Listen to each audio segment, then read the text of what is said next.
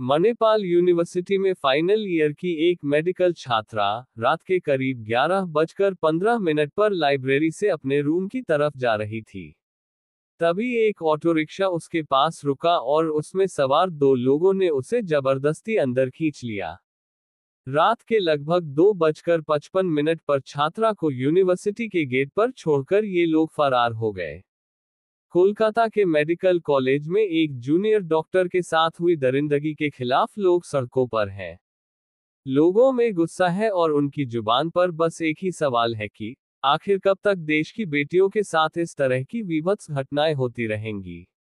कोलकाता की इस घटना ने 11 साल पुराने उस केस की भी यादें ताज़ा कर दी हैं, जब रात में लाइब्रेरी से यूनिवर्सिटी लौट रही मेडिकल की एक छात्रा के साथ गैंगरेप किया गया। दरिदों ने पहले छात्रा को ऑटो में किडनैप किया और फिर सुनसान जगह पर ले जाकर उसकी असमत लूटी। इस मामले ने पूरे देश को हिलाकर रख दिया था और पुलिस ने पेट्रोल पंप से मिले महज एक सुराग के ज़रिए पाँच दरिंदों को उनके किए की सजा दिलाई थी। वो 20 जून 2013 की मनहूस रात थी, जब कर्नाटक की मणिपाल यूनिवर्सिटी में पढ़ने वाली मेडिकल की छात्रा लाइब्रेरी में अपनी आने वाली परीक्षा की तैयारी कर रही थी। उसने घड़ी की तरफ़ देखा तो ग्यारह बजे चुके थे। अपनी किताबों को समेटकर वो पैदल ही लाइब्रेरी से कैंपस में अपने रूम की तरफ़ चल पड़ी।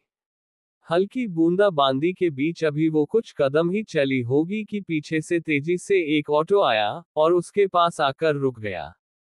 छात्रा कुछ समझ पाती, उससे पहले ही ऑटो के अंदर से दो लोग उतरे और उसे जबरन अंदर खींच लिया। यूनिवर्सिटी के गेट पर तैनात सिक्योरिटी गार्ड ने ये देखा तो वो बचाने के लिए दौड़ा, लेकिन तब तक ऑटो मौके से जा चुका था। छात्रा का पर्स और छाता सड़क पर गिरे पड़े थे।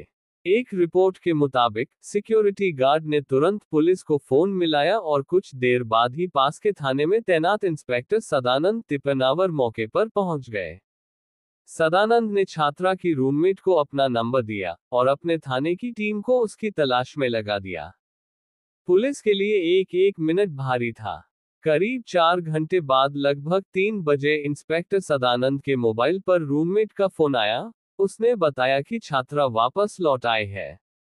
हालाँकि उसकी हालत बहुत ज़्यादा खराब है।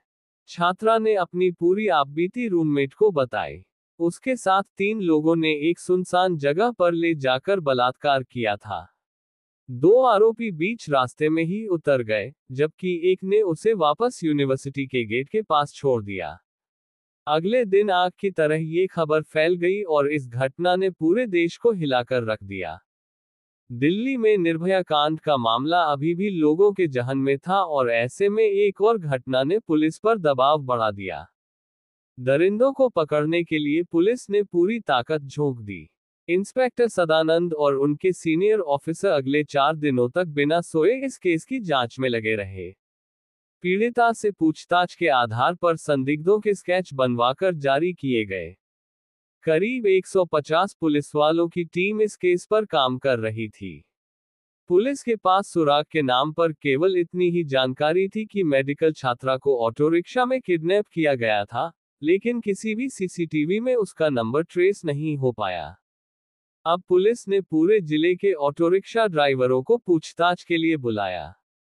करीब बारह हज़ार ड्राइवरों को स्कैन किया गया, लेकिन कुछ पता नहीं चल पाया।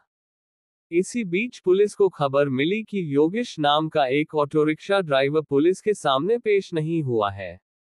पुलिस ने तुरंत उसकी तलाश शुरू की, लेकिन वो शहर छोड़कर जा चुका था। मामले में पहला संदिग्ध अब पुलिस को मिल चुका था। पुलिस ने अब आसपास के इलाके को खंगालना शुरू किया तो पता चला कि जिस जगह से छात्रा को किडनैप किया गया, उसके पास एक पेट्रोल पंप है। पेट्रोल पंप के सीसीटीवी फुटेज की जाँच की गई तो पुलिस को इस मामले में अहम सुराग मिल गया। सीसीटीवी में नज़र आया कि घटना से कुछ मिनट पहले ही योगेश और उसके दो साथी हरिप्रसाद और आनंद पेट्रोल पंप पर गए थे। उस रात इन लोगों ने करीब 11 बजे ऑटो रिक्शा में सौ रुपये का ईंधन भरवाया था। पुलिस ने अब तेज़ी के साथ इन तीनों की तलाश शुरू की, लेकिन तभी अधिकारियों के सामने एक और चुनौती खड़ी हो गई।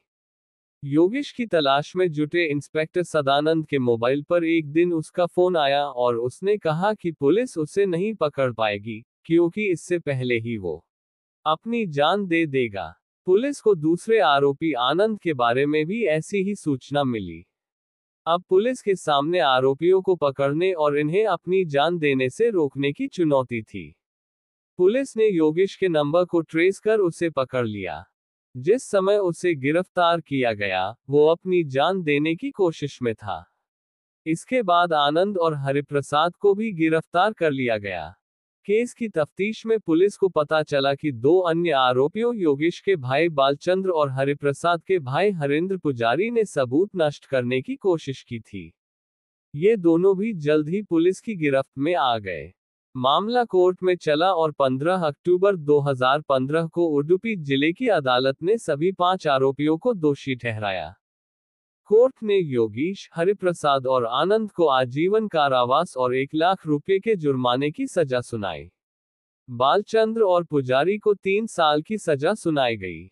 इस मामले में पीड़ित मेडिकल छात्रा को मीडिया से बचाने के लिए पुलिस ने एक अनोखा तरीका भी अपनाया था।